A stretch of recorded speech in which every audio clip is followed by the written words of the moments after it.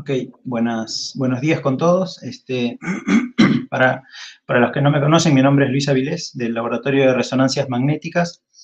Eh, les doy la bienvenida a todos al seminario número 10, este, que estará a cargo de Javier Briático. Eh, eh, Javier es un ex miembro del laboratorio y ahora, después de agradecerle por su presentación, le, doy pase ahora a Laura Steren, que, que va va a ser la introducción correspondiente. Bien. Bueno, yo también, un ex miembro de la casa, eh, quiere un placer presentar a mi colega Javier Briático. Voy a hablar un poquito de la bio primero. Él es egresado del Instituto Balseiro. Con un trabajo se acercó al laboratorio de resonancia con su trabajo final de la licenciatura que dirigió eh, Horacio Salva del Laboratorio de Resonancias Magnéticas. Después hizo el doctorado con otra colega del laboratorio, María Teresa Causa, y eh, obteniendo el título de doctor en física en, el 1997, que creo que ahí, perdónenme que introduzca, ahí nos conocimos de vuelta, en realidad nos conocimos cuando yo era ayudante y él era alumno del Instituto Baseiro, pero luego nos volvimos a encontrar en el 97 en Resonancias. Él partió a Francia, digamos, para hacer una, estadía postdoctoral en la unidad mixta de física Cinerestales en, en, el, 97-98, eh, donde luego obtuvo un cargo permanente en el grupo de superconductividad y desde 2017 es director de investigaciones, director de research eh, a cargo de la línea de superconductividad de alta temperatura crítica y tratamiento de señales en esa unidad, en ese instituto de investigación donde trabaja, él menciona, eh, premio Nobel, digamos, de, física 2007 del profesor Albert Fert, que fue uno de los iniciadores, va, él, yo creo, uno de los dos o tres iniciadores del área de espintrónica en el mundo.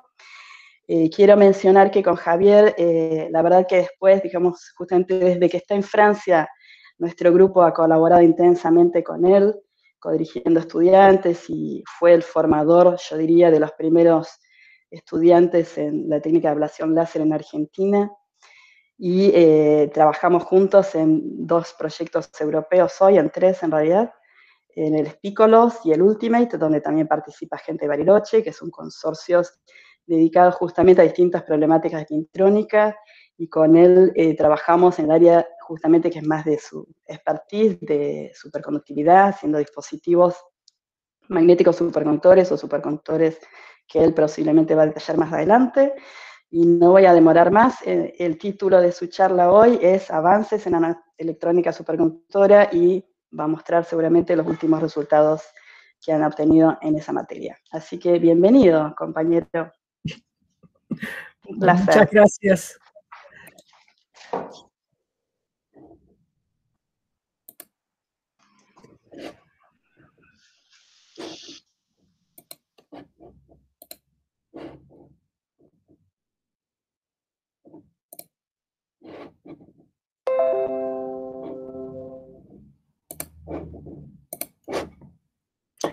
Bueno, ahí tienen toda la pantalla. Sí. Ok. Bueno, eh, como, como, dijo Laura, mi nombre es Javier Briático. Eh, después de, haber pasado por, eh, por Bariloche, en el 97, gracias justamente a Laura Steren, que había realizado su postdoc en la unidad mixta Cenerestales, eh, conseguí un, puesto para ir a Francia a hacer mi postdoctorado en, como les dije, la unidad mixta de física Cenerestales, que eh, se encuentra a 25 kilómetros al sur de París y cuyo creador y director científico es eh, Albert Fert, que recibió el Premio Nobel de Física en el año 2007. Eh, la unidad mixta Cenerestales. ¿Qué es esto? Bueno, Tales es un conglomerado de unidades eh, que se dedican a la electrónica y que van desde, por decirlo así, lo más profundo a lo más alto, desde eh, Tales Underwater, que se dedica a hacer sistemas de sonares, todo lo que es electrónica para submarinos, para detección de tsunamis, pasando por Tales Naval, tenemos tales sistemas de telecomunicaciones, hasta, bueno, lo más alto que es Tales Alenia Space, que se dedica a hacer satélites y que, bueno, es bien conocida de la gente de INVAP allá en, Bariloche. todas estas unidades de Tales, es interesante, es, una empresa eh, mixta entre eh, lo que es privado y público, porque el Estado francés tiene partes eh, en, el control de la empresa. Entonces, todas estas unidades pagan una especie de impuesto a algo que hoy en día se llama Thales Research and Technology, eh, y que em, es eh, lo que antes se llamaba Laboratorio Central de Investigaciones de Tales, que me parece mucho más adaptado el nombre. Porque, bueno, con este impuesto que se paga, Tales Research and Technology se encarga de hacer investigación a largo plazo para eh, las distintas unidades de la empresa. Largo plazo puede significar 5, 10, 15 o 20 años eh, más adelante.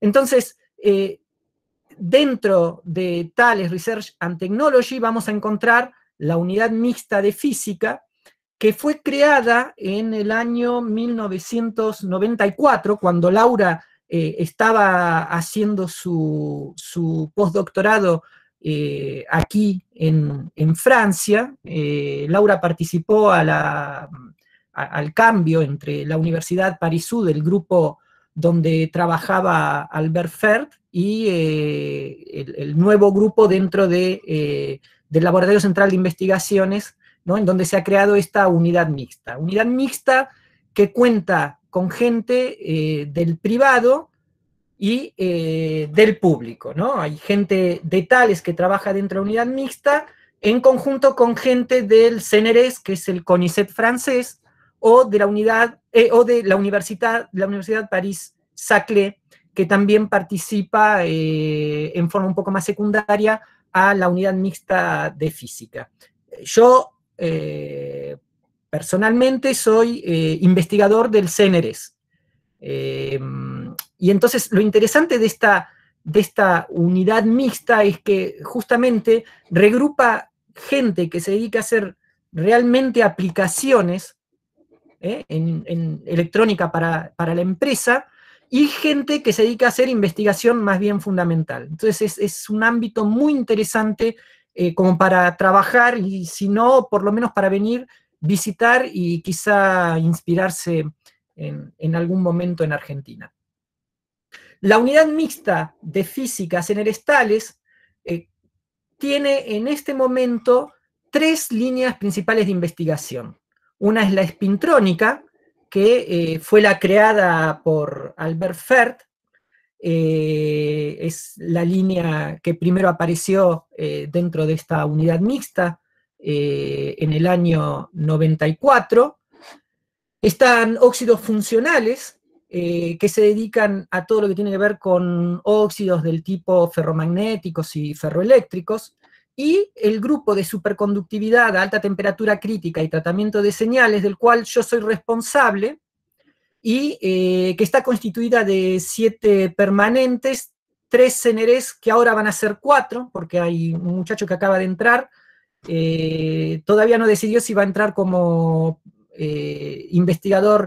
eh, docente o como investigador pura y exclusivamente del CNRS, tuvo la suerte de ingresar en los dos, y hay cuatro personas de, tales eh, dentro de este grupo. Y la idea es que en la unidad mixta trabajamos, por un lado, la comprensión de la física de films eh, delgados y, de dispositivos también, y a la concepción, la realización y la mejora de dispositivos para poder ser utilizados en algún futuro en eh, los trabajos, en, los equipos de, de tales. Entonces ahora, la pregunta es, ¿cuál es el interés de los materiales superconductores en lo que tiene que ver con los sistemas de telecomunicaciones? Y una primera respuesta puede ser la de la saturación del espectro electromagnético, que hace que los distintos operadores de la banda de este espectro puedan tener algunas interferencias en eh, las zonas de solapamiento, ¿no? Bueno, la mayor parte de los dispositivos de un sistema de telecomunicaciones está constituido de eh, bobinas y de capacitores que forman filtros y elementos resonantes. Estos dispositivos tienen una resistencia parásita y que hacen que eh, baje el factor de calidad de eh, los dispositivos. Lo que ven ustedes aquí es la amplitud de un resonador en función de la frecuencia de resonancia para distintos valores de eh, resistencia del dispositivo. Cuando tenemos una pequeña resistencia, tenemos una señal bien en punta, y a medida que va aumentando la resistencia parásita del resonador, el factor de calidad vemos que cae. ¿Está bien? Entonces, imagínense que nosotros tenemos un sistema de telecomunicaciones con un resonadores que tienen un bajo factor de calidad, como este, y que nosotros queremos tener una señal de salida hasta esta altura. Entonces lo que tenemos que hacer es amplificar eh, la señal. El problema es que amplificando la señal, lo que vamos a tener es una irradiación sobre toda la banda electromagnética. Entonces, es por eso que es interesante utilizar los superconductores. ¿eh? porque por debajo de una temperatura que se llama temperatura crítica, eh, la resistencia de esos materiales se hace nula, con lo cual podemos tener un gran factor de calidad, es decir, una gran selectividad de los sistemas de, eh, de los sistemas de telecomunicaciones. Bueno, en realidad, en el régimen microondas la resistencia de superficie de los superconductores no es nula, pero es 30 veces más pequeña que eh, el cobre puesto a la misma temperatura, es decir, enfriado, y eh, a esa misma frecuencia. Y ahora, ¿por qué utilizar superconductores de alta temperatura crítica? Eh, bien que los, existen dispositivos y están bien avanzados que funcionan con superconductores de tipo baja temperatura crítica, como los que están a base de, eh, niobio, por ejemplo, niobio aluminio, eh, el costo en energía para enfriar a 4 Kelvin comparado con los 77 de los superconductores de alta temperatura crítica, más el peso y el volumen eh, de esos aparatos de criogenia, hicieron que en nuestro laboratorio se haya optado por crecer y eh, trabajar con el material ivacuo en film delgado que eh, tiene una temperatura crítica del orden de los 88 o 90 grados Kelvin. Y eso nos va a permitir hacer aplicaciones para eh, aplicaciones tipo masivas, como por ejemplo en telefonía, o aplicaciones un poco más confidenciales, como por ejemplo soluciones embarcadas, que eso lo veremos un poquito más eh, adelante. Entonces, nuestro laboratorio trabaja, hace un tratamiento de la información en todo superconductividad de alta temperatura crítica, pasando desde la antena al un demultiplexor que permite de cortar todo el segmento, toda la banda en distintos segmentos para ser trabajado uno por uno y entonces así eh, aumentar la velocidad de tratamiento de la información con filtros que se llaman ágiles en, en Francia, que son filtros que con una tensión aplicada aquí nos permite de cambiar la frecuencia pasabanda de, los filtros. Estamos también trabajando un dispositivo exploratorio que es un frecuencímetro que permite detectar, eh, por ejemplo, las señales y decir dónde queremos dejar eh, eh, pasar la señal o dónde queremos eliminarla. El oscilador local, eh, que todo sistema de radio cuenta con un oscilador en su interior, y hasta el sistema de conversión analógica digital, que está hecho con junturas Josephson. Entonces, para comenzar, les voy a dar un ejemplo con, eh, de este tipo de dispositivos con el oscilador local. Esto que ustedes ven acá es una fotografía de un resonador que resuena a un gigahertz. Eh, es un sistema plano, por eso dice dos dimensiones. ¿eh? Vemos la fotografía desde arriba de un sustrato de, eh, de MgO, de óxido de magnesio, y en negro tenemos el film superconductor que ha estado grabado con una litografía óptica. Entonces, la parte negra es el superconductor la parte blanca o transparente es en realidad el film. Y aquí al costado lo que vemos es el circuito equivalente de este resonador. ¿eh? Se ve claramente aquí las dos capas de, de un capacitor. Esto que ven aquí es la espira, una única espira de una bobina, y todo el sistema tiene una cierta pérdida, es la resistencia parásita. Miren, son 5 milímetros, aquí la escala del resonador, este aparatito resuena a un gigahertz. Lo que ven acá es el comportamiento del factor de calidad de este resonador en función de la potencia de microondas que uno aplica al dispositivo a una, hecho a una temperatura de 60 kelvins. Lo que vemos es que a partir de una potencia de microondas de 10 watts, el factor de calidad empieza a disminuir. entonces el dispositivo es menos performante. Entonces, para entender qué es lo que está pasando, hemos hecho un estudio del comportamiento del superconductor en colaboración con eh, un laboratorio, con Kees van der Beek, del laboratorio, eh, laboratorio de sólidos irradiados de la École Polytechnique. ¿En qué consiste este estudio? Este estudio consiste en poner un pequeño cilindro de óxido de titanio. Es, lo que se llama el método de, resonador dieléctrico. Se pone este cilindro, cuya frecuencia de resonancia ante las microondas está dada por la geometría, ¿eh? el tamaño del cilindro, se lo pone en contacto con eh, el superconductor, con el sustrato y el superconductor dentro de una cavidad resonante. La variación del factor de calidad entre eh, del, resonador cuando está solito o cuando está en contacto con el ivacuo, nos va, esta variación nos va a dar el valor de la resistencia de superficie del film superconductor. ¿Está bien? Mientras que la variación de la frecuencia de resonancia es únicamente debido a la variación de la temperatura del sistema. Pero como en principio nosotros estamos trabajando a una temperatura fija, no debería haber ningún tipo de variación de la temperatura. Y todo lo que tendríamos que, ver en función de la potencia de microondas es la variación de eh, las propiedades del film superconductor.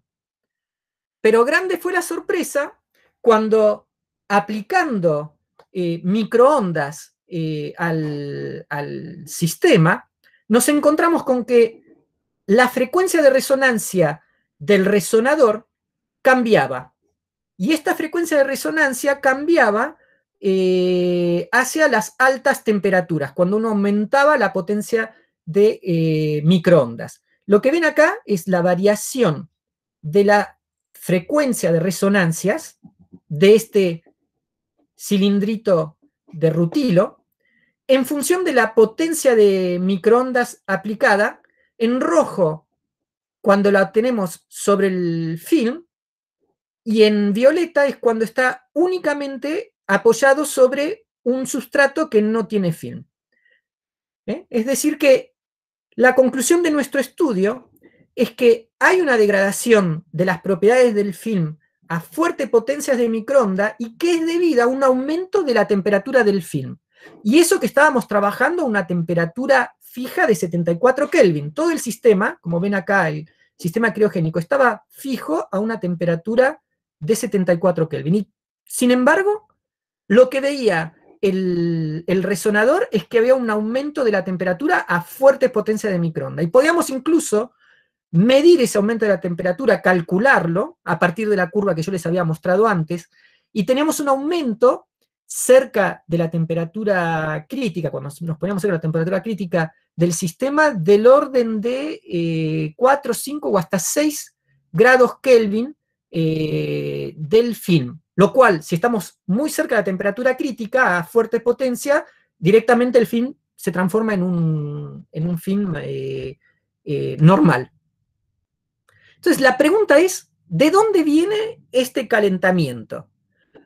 Bueno, y aquí interviene la, segunda propiedad de los materiales superconductores. Por suerte la gente de bajas temperaturas no está, porque si no se morían de aburrimiento. Eh, es, el efecto Meissner, que es que el material entonces eh, expulsa el campo magnético del interior. Bueno, en realidad el campo magnético puede penetrar en los films delgados de superconductores de Ivacuo en forma de vórtices que ustedes conocen bien, justamente por, BT, que van a quedar anclados en eh, los defectos de la estructura cristalina del material. La aplicación de una corriente sobre el film va a producir una fuerza sobre el vórtice que, más allá de una corriente que se llama corriente crítica, va a sacarlo de ese pozo de potencial, lo va a poner en movimiento y va a producir entonces una disipación. Es decir que las fuertes corrientes provocan el movimiento de los vórtices que a su vez producen la disipación y la degradación de las propiedades de los dispositivos. Entonces nosotros lo que hicimos fue estudiar, haciendo una simulación de elementos finitos, las zonas en el resonador en donde circulan fuertes corrientes de microonda. ¿Qué es lo que ven aquí? En esta línea, esta línea es una línea de corte que hacemos en la simulación, que es lo que ven aquí, es la corriente que circula sobre esta línea en el resonador. Y lo que vemos es que en los ángulos rectos del resonador aparecen grandes corrientes, ¿eh? aquí y aquí, que lo que van a hacer es, van a poder poner en movimiento a los eh, vórtices dentro del dispositivo. Entonces, lo que hicimos fue cambiar el diseño del resonador estándar por uno nuevo en donde hemos eliminado las, eh, los ángulos rectos y entonces vemos ahora que con el nuevo diseño eh, el sistema, el, resonador, eh, puede conservar un alto factor de calidad hasta 10 veces más de potencia que a la que le, teníamos, le podíamos aplicar a un resonador estándar. Decir, en conclusión, gracias a un estudio de la física de los dispositivos hemos podido aumentar eh, las propiedades de, justamente de, estos dispositivos. Y esto gracias también a una colaboración que hemos hecho con una persona que conoce mucho sobre los vórtices, que es Kes van der Beek, que es muy conocido de la gente de bajas temperaturas críticas, pues también tiene colaboraciones con ellos. Eh, y que nos ha permitido entonces de avanzar en, este sistema. Ahora bien, eh, a pesar de, esto que les acabo de mostrar, que eh, tenemos dispositivos que son mucho mejores que, lo que se puede obtener con, materiales convencionales, que encima los podemos mejorar en un grado magnífico. bueno, a pesar de todo eso, eh, la, superconductividad no despegaba dentro de las aplicaciones de, tales. ¿Eh? A pesar de que, bueno, como ven, tenemos una, gran, este, nosotros estamos muy orgullosos de, los resultados de, de nuestros dispositivos. El problema es que para los industriales no alcanza únicamente con que tengamos 10 o 100 o 1000 veces mejor resultados que con los sistemas convencionales. ¿eh? Porque ellos lo que se preguntan es sobre todo el sistema, cómo van a ser. ¿Eh? Y uno de los problemas es cómo vamos a hacer, por ejemplo, para dos veces por semana subir a, los techos de los edificios para poner eh, nitrógeno líquido, ni hablemos de los materiales con baja temperatura crítica, para poder enfriar los dispositivos que están dentro de, esta antena. Entonces, eh, yo, yo, en realidad lo presento como que nosotros tuvimos la gran idea de eh, hacer algo, pero la realidad fue un poco más este, eh, violenta. Eh, la gente de Tales le dijo a mis colaboradores de, Tales dentro de la unidad mixta que o ponían un filtro superconductor en un volumen menor que un litro, o en, menos de un año o eh, los únicos que iban a poder hacer seguir, eh, seguir haciendo superconductividad dentro de Tales iban a ser la gente, iba a ser la gente del CENERES, eh, que la gente de Tales iba a tener que dedicar a otra cosa. Entonces, gracias a este lindo incentivo, mis colegas de Tales han logrado poner dentro de un crióstato que es más pequeñito que una latita de coca, un filtro eh, superconductor eh, que funciona eh, y que este, este dispositivo criogénico puede bajar la temperatura a 60 Kelvin en menos de 2 minutos 30, con una alimentación inferior a 10 watts. Entonces, esto ahora credibiliza todas las aplicaciones que, que, puede hacer la unidad mixta para tales. Y es gracias a esto que se le ha dado un gran impulso a la superconductividad de alta temperatura crítica dentro de, tales. Em, yo ahora les voy a mostrar eh, algunos eh, dispositivos que, hacemos dentro de la unidad mixta. Este es el programa de investigación eh, que se lleva hoy en día en el laboratorio y que consta de tres líneas de investigación principales dentro de eh, la superconductividad de alta temperatura crítica y el tratamiento de señales, que son los sistemas de telecomunicaciones, la manipulación de señales eléctricas y recientemente también nos hemos involucrado en los sistemas de salud. Entonces, yo les voy a mostrar ahora eh, lo que estamos haciendo con estos sistemas, pero nosotros también hoy en día estamos trabajando más allá de la utilización de los superconductores como simple eh, metal de resistencia nula. ¿eh? Lo, que lo que estamos tratando de hacer hoy en día es de funcionalizar los films, ya sea por la nanoestructuración o por la hibridación con nuevos materiales, con otros materiales, para obtener nuevas funcionalidades. Y yo les voy a mostrar eh, algunos de, estos trabajos. ¿Está bien? Por ejemplo, en los sistemas de telecomunicaciones y en los sistemas de manipulación de señales, lo que estamos haciendo gracias a las junturas Josephson. ¿Eh? Y entonces, gracias a junturas Josephson, hoy en día podemos estar trabajando en eh, las antenas, que es la recepción de todo lo que, lo que tiene que ver con la recepción de las ondas electromagnéticas y podríamos empezar a trabajar también con los convertidores analógico-digital. Bueno, una juntura Josephson lo podemos pensar como un dispositivo que está compuesto por dos reservorios superconductores separados por una fina, muy fina barrera no superconductora. Polarizado justo debajo de su corriente crítica, una pequeña excitación que puede ser eléctrica o magnética va a producir un impulso de tensión en los bornes de este dispositivo. Así, entonces, mientras que la electrónica semiconductora trabaja con niveles altos y bajos de tensión, la electrónica superconductora trabaja con la presencia o la ausencia de estos impulsos de tensión que yo les comentaba. Y de este modo, lo que se puede hacer es como lo que ven aquí, son circuitos digitales a base de juntura Josephson. Esto que ustedes ven acá es una báscula eh, RS que funciona a base de eh, cuatro junturas Josephson. Ahora, bien, la tecnología que se utiliza normalmente para realizar la juntura Josephson es una, una eh, tecnología que es muy, muy pesada desde el punto de vista eh, tecnológico, eh, porque necesita hacer una litografía y retomar el crecimiento epitaxial de materiales como el, el que ustedes saben que es un material bastante complejo de, realizar.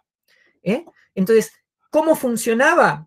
Y funcionaba por una, juntura Josephson realizada normalmente con superconductores de alta temperatura crítica. Lo primero que se hace es el depósito de una primera capa completa de Ivacuo. Luego hay que hacer un grabado iónico para producir una rampa, una rampa de 22 grados ¿eh? en el material.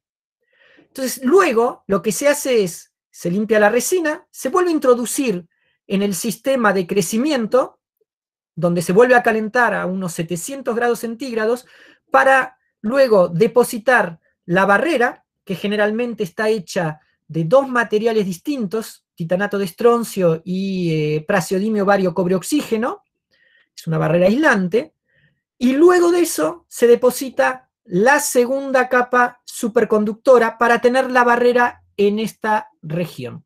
Entonces tenemos el reservorio superconductor, el aislante y el segundo reservorio superconductor. Esta técnica era realizada únicamente por la unidad mixta, la Universidad de Twente y la Universidad de Chalmers, ¿eh? en los Países Bajos y en Suecia. Eh, como ven, es bastante complicado de implementar. Bueno, nosotros hemos colaborado junto con eh, la École Superior de Física y Química de París y con el C2N a la realización de un nuevo tipo de juntura Josephson por irradiación de ion de oxígeno. Y en este caso, la funcionalización es una nanoestructuración del film superconductor. Entonces, ¿en qué está basado esta, este tipo de juntura Josephson? Está basado en el hecho de que el desorden producido por el bombardeo de átomos de oxígeno en un material superconductor produce una disminución de la temperatura crítica del material. Entonces, ahora les voy a dar la receta para producir eh, este tipo de dispositivos eh, a partir de un film superconductor. Entonces, si tenemos un film superconductor de Ivacuo con una temperatura crítica de TC, lo primero que hacemos es proteger una parte del material con resina de litografía y luego bombardeamos con átomos de oxígeno a eh, una tensión de 100 kiloelectronvolts con una dosis bien alta de 10 a la 15 átomos por centímetro cuadrado para realizar así el electrodo. Entonces, todo lo que no fue protegido y que quedó expuesto al bombardeo se va a convertir en un aislante, mientras que la parte protegida nos va a producir el electrodo que va a tener una temperatura crítica como la que tenía antes el fin. El segundo paso consiste en realizar por litografía electrónica, entonces, una abertura de, del orden de 20 a 40 o 60 nanómetros, ¿está bien?, en la resina litográfica, para entonces luego bombardear con átomos de oxígeno, con una dosis más baja, de 10 a la 13 átomos por centímetro cuadrado, para bajar la temperatura crítica de la región expuesta. Y entonces de este modo lo que tendremos es los dos reservorios superconductores con TC separados por una región no superconductora o que es superconductora a una temperatura crítica mucho más baja, 20 a 30 grados más baja de temperatura crítica. ¿Está bien? Entonces, ahora eh, nosotros hemos hecho la colaboración con, como les decía, con la gente del SPCI y de C2N, y hubo una persona que ha trabajado muchísimo cuando estuvo haciendo su postdoctorado aquí en Francia, eh, como decía, ha trabajado muchísimo en la comprensión fina de la física de estos dispositivos. Ustedes lo ven acá, una foto de diciembre del 2007, Martín Sirena, que eh, gracias a él y a sus estudios eh, Monte Carlo y Random Walk, hemos podido entender bien cómo se comportan estos dispositivos. Y gracias a él se han hecho unos avances muy importantes eh, en las aplicaciones. En esta foto también pueden ver eh, a la directora del área de ingeniería, así que tengan cuidado conmigo que tengo amigos muy importantes.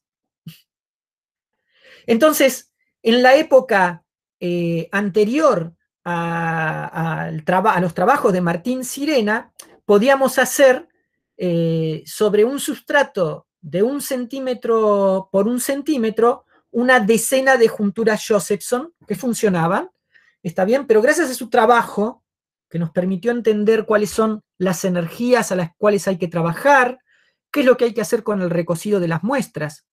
Y gracias también al trabajo de un tecnólogo de Tales, un compañero nuestro, eh, pagado por la empresa para, trabajar en esto durante más de cuatro años, eh, hemos llegado a pasar de una decena de junturas Josephson por centímetro cuadrado a hacer unas 900.000 junturas Josephson en un sustrato de 2 pulgadas.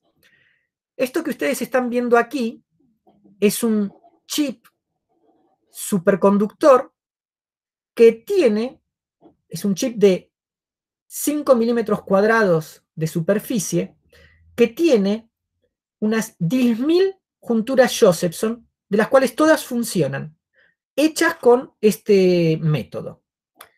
Este dispositivo que ustedes ven aquí se llama un SCIF. ¿Está bien? Y es un dispositivo que puede servir como una antena superconductora. Entonces les voy a comentar un poco de qué se trata eh, este dispositivo. Lo que ustedes ven acá es un, SQUID, que, bueno, ustedes obviamente lo conocen eh, tanto como yo.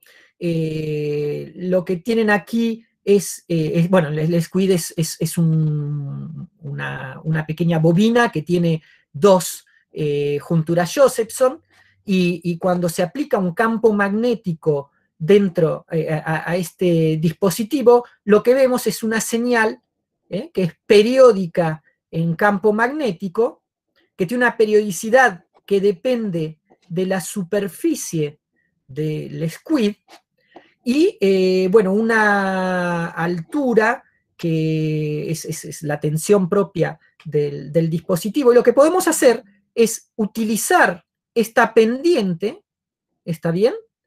Podemos utilizar esta pendiente para hacer detección de campo magnético, porque podemos utilizarla para producir una pequeña variación, es decir, la, pequeña, una pequeña variación de campo magnético va a ser traducida en una variación de tensión en los bornes del squid.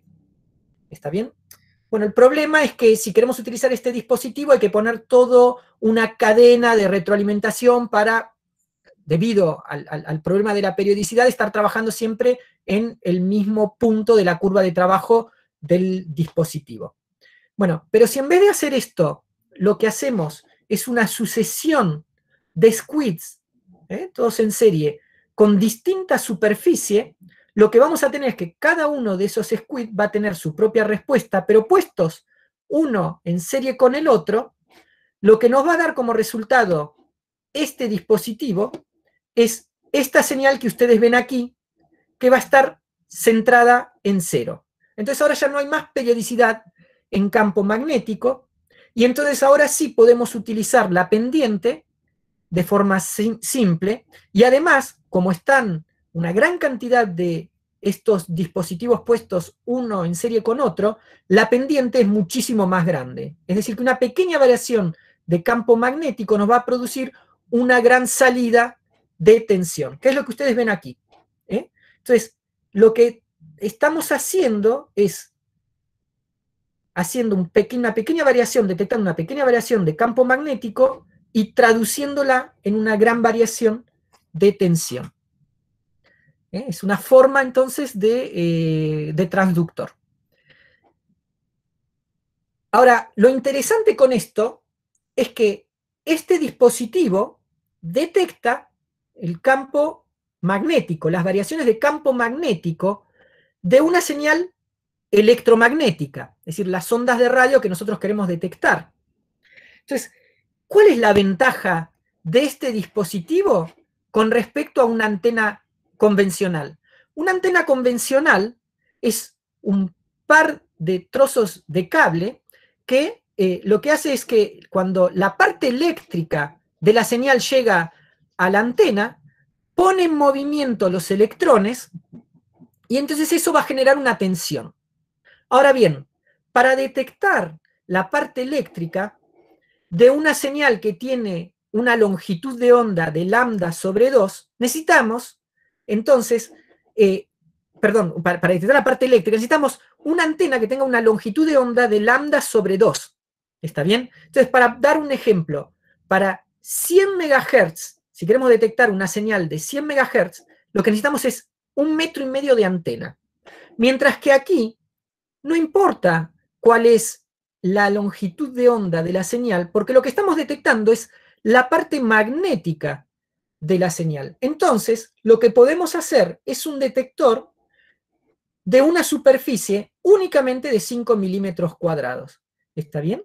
Entonces, es esa la ventaja que tenemos al utilizar este tipo de, eh, de dispositivo. Y entonces en nuestro laboratorio hemos hecho una detección de señales de hasta 100 MHz. Hemos visto que funciona y que el sistema detecta 100 MHz con un dispositivo como este que consta de 10.000 junturas Josephson en una plaquetita de menos de 5 milímetros cuadrados. ¿Cuáles son las perspectivas de todo, de todo este trabajo? Eh, bueno, les voy a mostrar un par únicamente.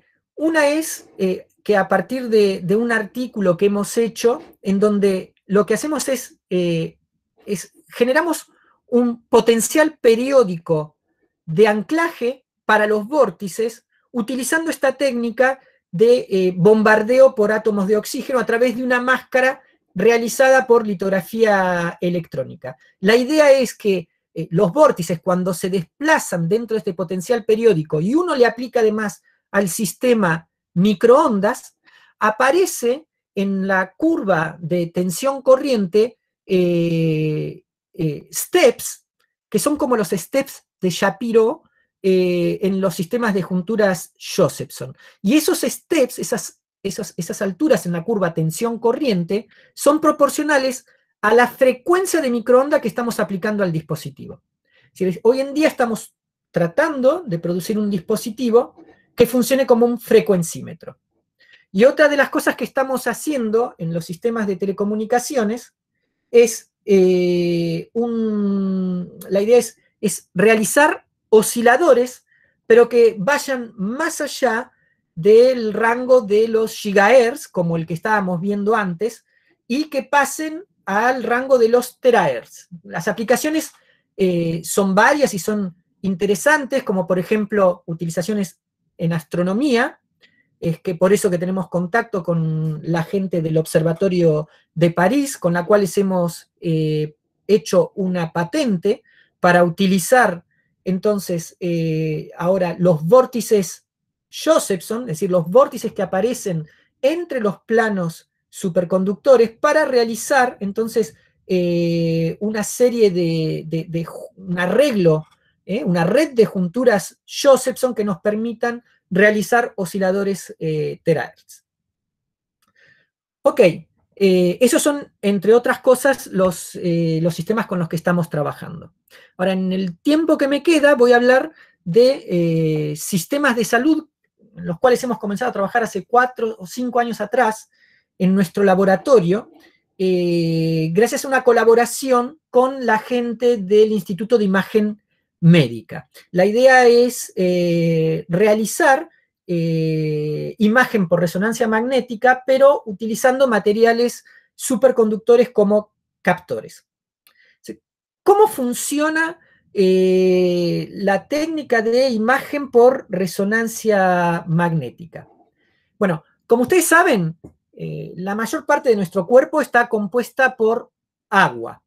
¿Está bien? Entonces, la idea es eh, alinear eh, el momento nuclear de los protones del agua que componen nuestro cuerpo alinearla con un gran campo magnético estático externo, que es normalmente del orden de 1,5 Tesla. Eh, es ese gran cilindro que ustedes ven cuando van a hacer eh, una resonancia magnética o que se ve en, la serie Doctor House. Entonces, lo primero que se hace es alinear los momentos magnéticos del agua, de los protones del agua, con este campo magnético. Y luego, lo que se hace es, hay dos etapas para la realización de una imagen. En una primera etapa, se utiliza una antena de emisión que lo que va a hacer es va a aplicar un impulso de 40 MHz durante más o menos unos 10 milisegundos y va a ser entonces poner a 90 grados el momento magnético de los protones, 90 grados con respecto a este campo magnético estático externo. Esto es la etapa de emisión. Y luego en una segunda etapa, que es lo que se llama la etapa de recepción, lo que va a suceder es que se saca este campo magnético de 40 MHz y entonces los momentos magnéticos de los protones del agua van a comenzar a hacer una precesión y van a volver a alinearse con el campo magnético externo. ¿Está bien? La forma en la que van a volver a alinearse con el campo, es decir, la velocidad, va a depender del entorno en el cual está eh, esa molécula de agua. ¿Está bien? Entonces, lo que vamos a hacer es con una segunda antena, vamos a, medir el retorno al equilibrio en cada punto del espacio de eh, las partículas de agua. Y es eso lo que vamos a grabar. ¿Está bien? Entonces, esta es eh, entonces la etapa de recepción. Entonces, lo que van a ver ahora eh, es el cerebro de un ratón que ha sido tomado por imagen, por resonancia magnética, utilizando una antena de recepción, es la segunda antenita, una antena de recepción en cobre. Esta es la imagen que se puede obtener del cerebro de un ratón, que mide más o menos un centímetro por un centímetro. Y esta es la imagen que se puede obtener utilizando una antena superconductora de Ivacuo del mismo ratón. Ustedes ven ahora la diferencia de contraste entre las dos imágenes. Las dos imágenes fueron tomadas utilizando el mismo tiempo eh, para cada una de ellas. Ahora bien, ¿por qué hay una diferencia tan grande entre la imagen tomada con eh, la antena de cobre y la imagen tomada con la antena superconductora. Bueno, eso como diría el Paco, es por culpa de KT. Esta es la única fórmula que van a ver en toda eh, la presentación. Es por culpa de KT y por culpa de la resistencia. Porque lo que sucede es que cuando tenemos una antenita, una bobinita o un pedazo de conductor, ¿eh? lo que va a hacer la temperatura es mover los, eh, los electrones dentro del, va a agitar los electrones dentro del conductor, ¿eh? dentro del conductor de resistencia R. Y entonces lo que va a pasar es que va a aparecer una tensión en bornes de ese conductor, una tensión que es proporcional a la temperatura y a la resistencia. Entonces, cuando estamos mirando la señal del decrecimiento del, protón sobre la antena de recepción, hay que sobreimponer a eso la tensión esta parásita que aparece por el ruido Johnson. Entonces, si tenemos una, bobina de cobre, la resistencia, por más que esté enfriada, es bastante alta. Entonces, lo, lo único que vamos a poder medir de la curva ¿eh? de, retorno al equilibrio del protón es esta partecita, esto ya cae dentro del ruido, no lo vamos a ver, vamos a ver esto, y luego casi no vamos a ver nada más. Entonces va a ser muy complicado fitear una curva sobre casi nada. Mientras que si utilizamos una antena superconductora, el nivel de ruido, como R es casi cero, va a ser muchísimo más pequeñito. Entonces vamos a poder utilizar casi toda la curva para poder fitear y obtener entonces un buen fiteo y lo que significa una buena, eh, un buen contraste en la imagen. Ahora bien, entonces aquí ven la diferencia entre las dos antenas. El problema es que la antena superconductora lo que hace es concentra el flujo magnético durante la etapa de emisión. ¿eh?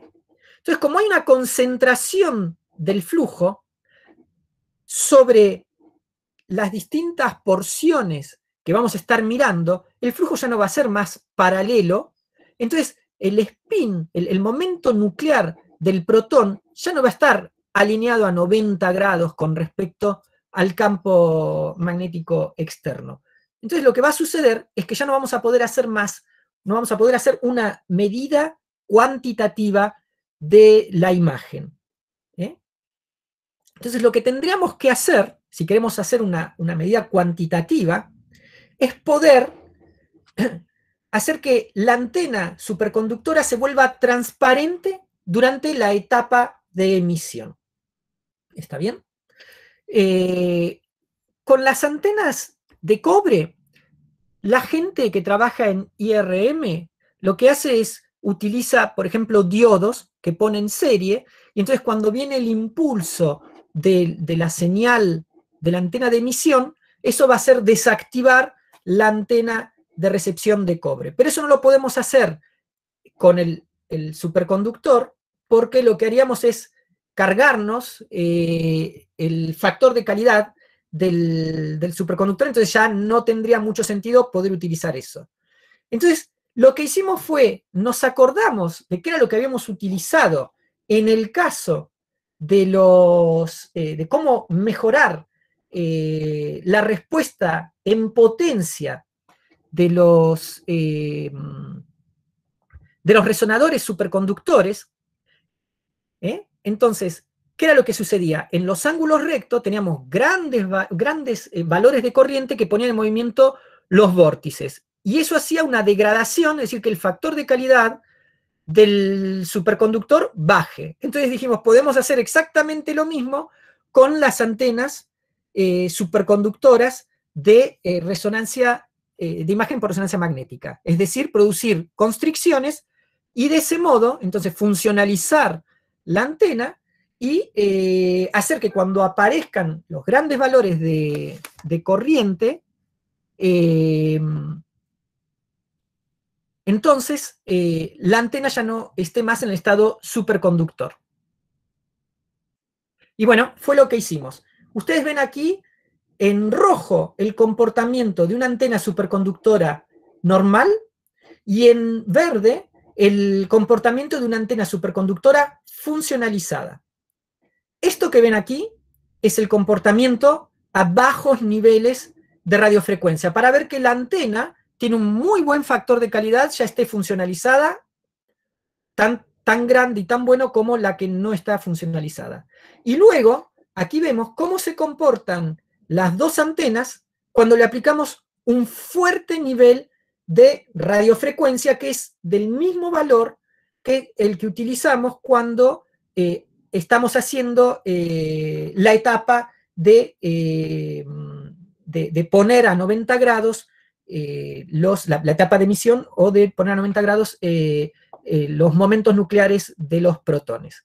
Es decir que, y, todo esto, este, este cambio, es decir, poner la, la antena casi en un estado normal, eso hace que entonces no haya desviación ni de, los campos magnéticos, y todo esto lo podemos hacer en menos de 11 microsegundos. ¿eh? Este, este cambio del pasaje del estado normal al estado superconductor, poniendo y sacando, regresa en menos de 11 microsegundos la antena al estado de fuerte valor de Q, que es el que necesitamos durante la etapa de recepción. Es decir, que ahora es posible hacer imagen por resonancia magnética utilizando superconductores que nos producen una gran, un gran contraste en la imagen de forma cuantitativa.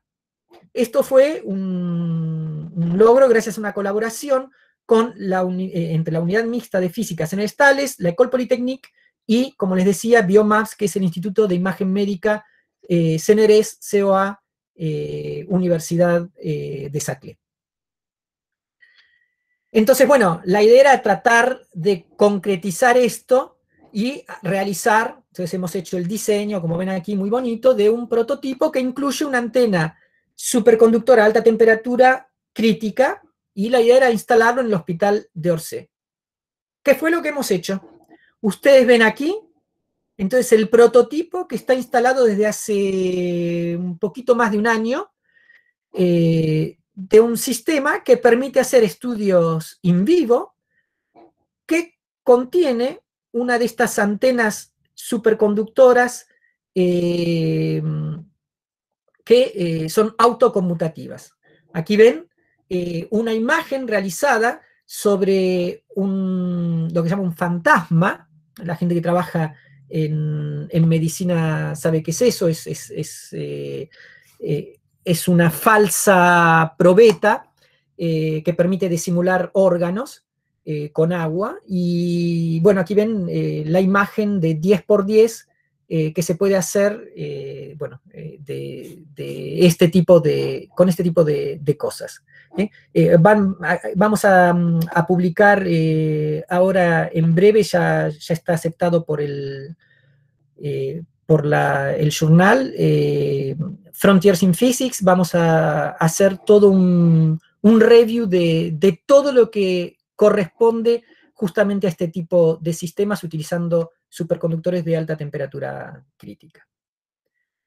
Bueno, para terminar, las perspectivas de esto es que eh, hoy lo que podemos hacer es, eh, ustedes vieron eh, la antenita que estamos utilizando, nuestro prototipo mide un centímetro de diámetro.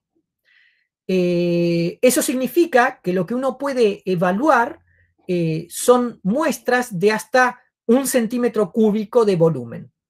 Entonces, la idea ahora es poder realizar antenas de distinto tipo ¿eh? utilizando estos modulitos ¿eh? y poder hacer antenas que sean mucho más grandes como para poder evaluar eh, un volumen ya más propio de lo que podría ser un cerebro del orden de mil centímetros cúbicos, es decir, 10 centímetros por 10 centímetros por 10 centímetros. Y esto es de nuevo el fruto de una colaboración entre cuatro laboratorios. Bueno, aquí he terminado mi charla, entonces yo ahora les voy a dar unas conclusiones generales ¿eh? de lo que yo pude sacar de todo este tiempo trabajando en una unidad mixta entre eh, el, sector público y, una empresa, ¿eh? el sector privado. Es que para pasar del fenómeno físico al dispositivo, primero es un trabajo de largo aliento, no es un sprint ¿eh? no son los 100 metros de Usain Bolt, es una maratón. ¿eh? Porque los superconductores de alta temperatura crítica se conocen desde el 86. Hacer los films eh, se pudo hacer varios años después y trabajarlos, estos materiales que pierden oxígeno, que son tan lábiles, es muy complicado, se ha necesitado mucho esfuerzo. ¿Está bien? En cualquier área en cualquier área dentro del centro atómico, por ejemplo, si se quiere aumentar en complejidad, lo que hay que hacer es poner los medios materiales y los medios humanos. Porque si se ha podido hacer algo dentro de la unidad mixta, en el área de superconductores es porque había un grupo de cuatro o cinco personas pagadas por tales para poder hacer los dispositivos. Esto mismo dentro de la unidad mixta casi no se pudo hacer en el área de espintrónica y no se hizo, seguramente, en el área de eh, óxidos funcionales, porque había una única persona para trabajar en todo esto. Es decir, que eh, hay que ponerse, es la única forma, eh, si no lo que hacemos es, es realmente, no lo quiero decir tan fuertemente, pero es un poco mentir si no hay un apoyo detrás. Y una tercera cosa es que es imprescindible colaborar. ¿eh? Las junturas Josephson, por más que nosotros podamos hacer todo, ¿eh? en nuestro laboratorio nosotros podemos, en principio, hacer absolutamente todo, pero no se avanza rápido en, eso. Eh, por ejemplo, las junturas Josephson las hacemos todavía hoy en día con el SPCI, la École de, Física y Química de, París, y el Centro eh, de Nanociencia y Nanotecnología del, del. Todo lo que es IRM, colaboramos con Biomaps, el COA, la, Comisión de Energía Atómica y la École Polytechnique. Para pasar al rango de terahertz, estamos obligados de colaborar con el Observatorio de París. Y para hacer las cosas que ahora estamos haciendo, eh, que es pasar, justamente como dijo Laura, hacer depósitos de perovskitas, ya sean manganitas o ya sean materiales superconductores, eh, sobre silicio, que es eh, el próximo paso ¿no? para, popularizar todas estas aplicaciones, eso lo hacemos con el Centro Atómico Constituyentes. ¿Está bien? Y bueno, y voy a terminar diciendo que justamente con Laura Steren eh, tenemos un contrato que se llama Spicolost, que está financiado por la Comunidad Europea y que va a terminar dentro de un año, eh, y que eh, este, este, contrato, que está liderado por Miriam Aguirre de la Universidad de Zaragoza, y que nos ha encontrado como, como socios colaboradores a Laura en el Centro Atómico Constituyentes y, a mí en, Francia, este contrato nos financia 42 meses de intercambio eh, entre Argentina eh, y, Francia. El objetivo, como les dije, era, es, de producir eh, LSMO sobre silicio e IVACUO sobre silicio. Este contrato se va a terminar en el 2022, pero ya eh, en septiembre de este año va a comenzar eh, lo que se dice la suite, eh, que va a ir desde el 2021 hasta mediados, casi fines del 2025, y que nos encuentra colaborando nuevamente a la cabeza Miriam Aguirre de la Universidad de Zaragoza y Laura Steren con Elin y Pigullo, y por parte de Francia eh, bueno, mi laboratorio, unidad mixta Estales, y Carlos Rojas, que obviamente lo conocen muy bien, que eh, es también, como yo, CNRS y que trabaja en la Universidad de eh, Bueno, esto es todo lo que quería decirles y como sé que me están pidiendo las fotos, eh, bueno, les agradezco mucho. je, je, vous dis merci de votre attention. Y eh, bueno, aquí escracho a la gente. Entonces, eh,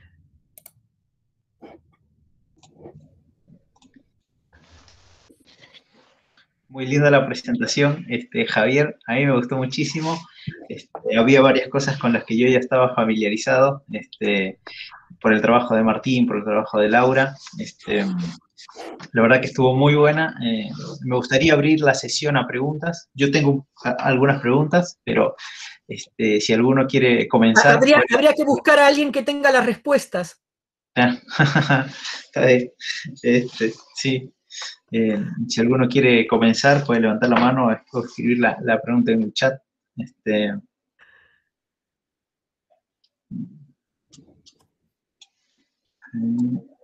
bueno, a ver, yo, yo arranco así, ¿no? Ah, bueno, Carlos empezó. Dale, dale, Carlos. El micrófono.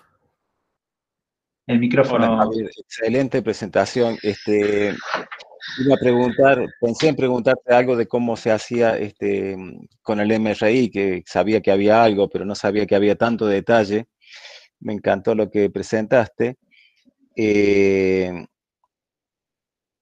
este, ¿Quiénes más están trabajando en esto? Supongo que es un trabajo de mucha competencia, eh, tratar de meter este, la detección superconductora en, este, en detección de, MRI para, humanos. Este, y me llamó la atención, bueno, hay muchos materiales mm, eh, aparentemente magnéticos, hay un motor y qué sé yo, que este, cerca del, de las bobinas superconductoras es difícil que, eso se pueda poner, así que supongo que será el motor, el compresor y qué sé yo, todo hecho en aluminio, no sé cómo, eh, me llama la atención la, este, detalles que no son, este, quizás... Que no son detalles. Que no son detalles. bueno, Gracias. Si querés comentar algo al respecto, me pareció impresionante todo lo que has hecho y me alegro mucho de haberte invitado. Gracias. Eh, mando un saludo a Martín, eh, que está por ahí. Eh, sí, en realidad lo que importa y, no te lo voy a, decir a vos que, sos de resonancia magnética, no es el campo magnético, sino los gradientes. Eh, el campo magnético en el centro del gran electroimán, ¿eh? es el Dr. House, alejado ya unos creo que 20 o 30 centímetros, ya baja, creo que es de alrededor de 500 Gauss. ¿Está bien? Entonces, sí, todo lo que va adentro tiene que ser diamagnético, ¿no? Tenés que poner eh, adentro todos los tornillos, todo está hecho de modo que no, no, sea magnético para no perturbar. Es más, los primeros tornillos que pusimos eran magnéticos entonces vos veías las imágenes que tenían perturbaciones en donde estaban los tornillos. Pero salvo lo que va dentro, el resto, el motor, todo lo demás, como justamente vos viste, es, una camilla lo que hemos hecho. Entonces está bastante alejado, no hay inconveniente con, con, los campos magnéticos, no hay perturbación. Ok, gracias. ¿eh? Y efectivamente es, es, un trabajo donde hay un montón de competencias juntas. Por eso yo digo, hay que colaborar y hay que colaborar incluso aunque tengamos el, conocimiento. Eh, con, Laura, por ejemplo, eh, compartimos, compartimos el conocimiento. Es decir, eh, todo lo que sabe Laura me sirve a mí, todo lo que yo sé le sirve a Laura. Es algo que hay que pensar siempre y no cerrarse cuando, cuando uno trabaja o presenta proyectos, ¿no? Gracias. Eh. Ahí Martín levantó la mano. Parece que quiere hacer un comentario o una pregunta. Hola, hola Javier. aprovecho la oportunidad para, para saludarte. Qué, qué hermoso verte, aunque sea así de manera virtual, digamos, ¿no? Así que agradezco la oportunidad de, de verte y saludarte. Que siempre tengo hermosos recuerdos de la estancia ahí en París todo lo que hicimos y lo que aprendimos, así que, bueno, muchísimas gracias y todo muy lindo. Y quería preguntarte, eh, en la última parte vos me habías contado en algún momento lo que estaban viendo con resonancia, haciendo con los squid, me parecía súper interesante. Y si me podías contar un poquito este, las, técnicas de fabricación que están utilizando, si hiciste con qué tipo de litografía y cómo tenían pensado eh, ampliar el área de las, de las antenas para llegar a áreas grandes, ¿no? Estabas hablando, puede ser tipo 10 centímetros por 10 centímetros. ¿Cómo, cómo tenían pensado encarar eso, si se puede saber? Eh, creo, creo que estamos hablando de dos cosas distintas. Los, los squid, eso es para hacer las antenas de los sistemas de, telecomunicaciones. Ah, perdón, sí. Ahí no necesitamos eh, grandes áreas, en realidad eh, todo lo contrario, es, bien pequeñito. Eh, tenés una pequeña bobinita que se encarga de, colectar el campo magnético y luego tenés una línea central en donde hay más o menos unos mil, mil, mil junturas Josephson una detrás de la otra en serie. Ese es todo el dispositivo. Para la, es cierto también que no he mostrado nada, que nuestro laboratorio está trabajando para hacer eh, imagen, eh, imagen médica a bajos campos. utilizando, utilizando ahí sí eh, junturas Josephson irradiadas. Ah, la idea es poder hacer cosas que sean transportables. Eso lo estamos haciendo en colaboración con la gente de Bordeaux, de la Universidad de Bordeaux. la idea es poner esas antenitas de, de, skiff en este sentido y en este sentido, y con un pequeño campo magnético poder hacer los movimientos, los gradientes como para eh, poder detectar punto por punto y formar la imagen. Y eso es con bajos campos. La idea es poder hacer algo, eh, yo no sé si lo has visto alguna vez que hayas venido al laboratorio, es poder hacer algo que sea bien transportable, que lo puedas poner adentro de una camioneta y llevar a cualquier sitio, que obviamente puede servir en campos de batalla o no necesariamente en zonas, no hablo de Francia, sino eh, en países que, no cuentan con este tipo de sistemas para hacer imagen y poder, eh, poder utilizarlo de forma un poco más, este, eh, más linda, ¿no? En países que no tienen gran infraestructura. pero, sí. Pero la, forma entonces de, hacerlo para la imagen en campos clínicos y preclínicos, que era lo que les mostraba en IRM directamente con fuertes campos, ¿eh? que son de, 1,7 o 4.2 Tesla. Eso la idea es hacer redes de bobinas. Son simplemente bobinas. Pero el problema es eh, el, acople magnético entre ellas que degrada el factor de calidad. Entonces hay que hacer estudios y para eso estamos pidiendo una beca para poder eh, estudiar eso y aumentar el tamaño entonces de la imagen. ¿Y el tamaño característico de los, de los trazos, digamos, de las bobinitas? ¿De cuántos son? es casi un milímetro. Ah, el trazo de la bobina es casi un milímetro. Ah, hasta son cosas grandes, digamos. Son cosas grandes. Buenísimo, muchas gracias, Javier. Eh, gracias, Javier, gracias, Martín, por la pregunta. Y ahí Carlos levantó la mano de nuevo. Eh, estás con el micrófono muteado, Carlos. Disculpe. Eh, campos vascos que decís ahí, disculpa, Javier, pero eh, ¿qué quiere decir? ¿Campos terrestres o, o, 0,5 Tesla, que es lo que se puede dar con imanes permanentes o algo así? Eh, estamos hablando de dos cosas distintas. lo que yo les mostré de imagen médica se hace con antenas resonantes. Sí.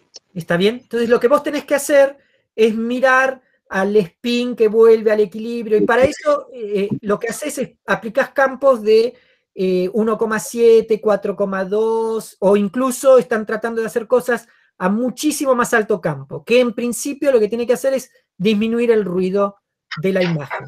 No, acá estamos hablando de otra cosa, es utilizar eh, los pequeños campos magnéticos que produce el organismo para detectar y crear una imagen a través de, eh, estos SCIF, que son series de, eh, squid que están ahí captando los campos electromagnéticos. Es decir, vamos a tratar de usarlos para eso y vamos a tratar de usarlos también eh, porque empieza a haber dinero aquí en la Comunidad Europea para hacer electroencefalogramas y empezar a estudiar problemas cerebrales. Entonces, sin campo en realidad. Los campos, pueden utilizarse cuando vos comienzas a hacer eh, campos bajos, que son para, hacer los gradientes eh, de campo magnético para hacer las, las detecciones. No, porque hay, hay un tema con el...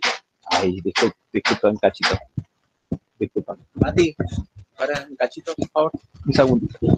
Este, estamos acá trabajando en casa. Y, che, eh, no, la pregunta mía era si, viste, los, lugares donde no tienen helio para reponer, que es el, hospital acá, por ejemplo, consiguió un equipo chino de, de permanentes, otro campo, hasta dónde puede llegar uno con sin helio, digamos.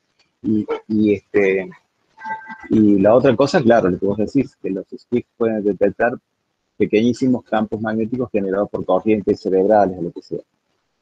Este, y, y, en los SPIC, digamos, ¿cómo haces para sacarlo de la zona donde es... Eh...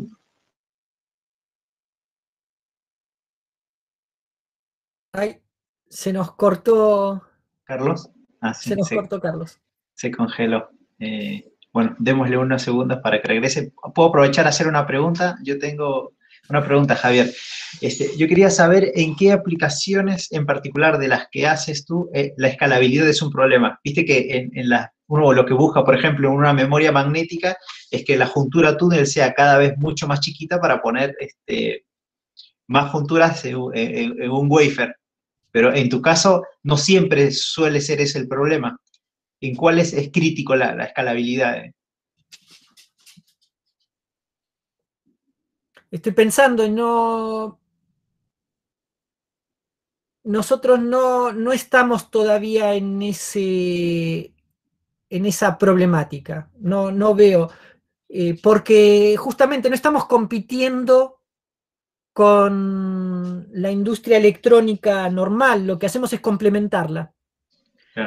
Entonces, no vamos, lo que nosotros tenemos es eh, mejoras en 10, 100, mil veces en las detecciones. Entonces no necesitamos eh, posicionarnos en, tenemos que hacer muchísimo más pequeñito que ellos, ¿te das cuenta? Es más, lo que estamos tratando de hacer es hacer cosas híbridas para poder utilizar, ponerle transistores o, cosas así entre el LSMO y, la industria electrónica convencional o eh, el superconductor y la industria convencional no, no es nuestro problema eh, la escalabilidad. Ok, está bien. Por lo menos no hoy.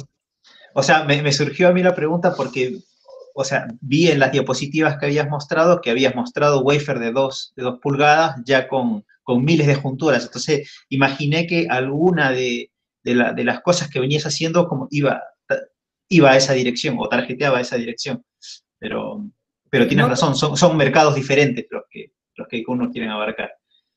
Vos, fíjate que lo que yo estoy ganando con, poniendo mil o diez mil junturas en, un chip de 2 milímetros por 2 milímetros, la gente de, de, semiconductores se mataría de risa. Estás poniendo 10.000 dispositivos, pero yo gano en que tengo una antena que mide 4 milímetros cuadrados y que reemplaza a una antena convencional de 150 eh, metros.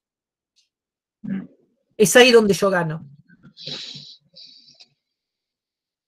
Claro, claro, claro. Está bien. Este, bueno, ahí justo Carlos me mandó un mensaje que se le había acabado la batería de, la computadora, lo debe estar solucionando. Este, no sé si alguno más tiene otra pregunta. Bueno, este... Voy, a decir únicamente para, informar quizá a, Agostina, que está también ahí colgada, que eh, estamos trabajando eh, bastante fuerte en hacer eh, la juntura Josephson sobre los sustratos de silicio. estamos bastante activos en eso, es el trabajo que estoy haciendo en este momento. Así que en cualquier momento vamos a tener eh, algunos resultados. Ok.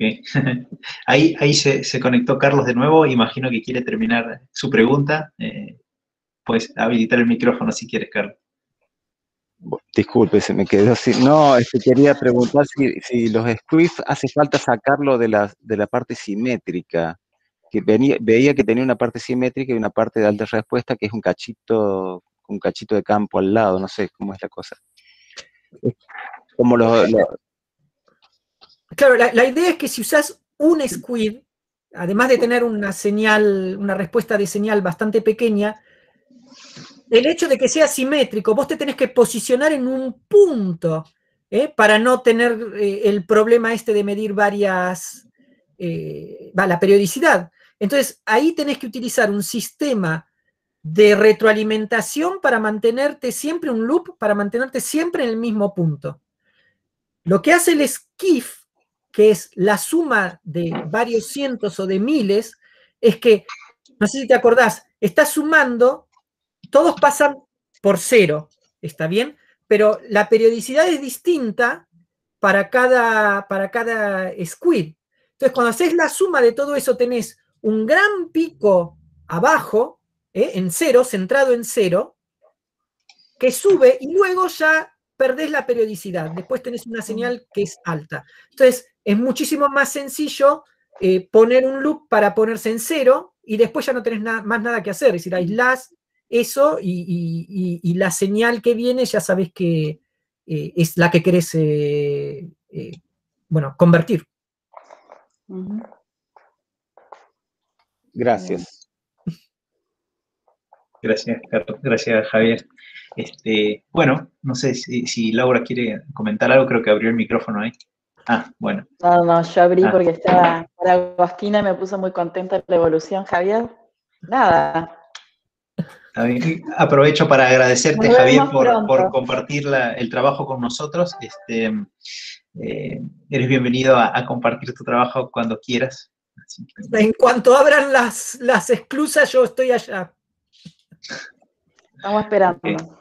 antes de lo que piensen, ¿eh?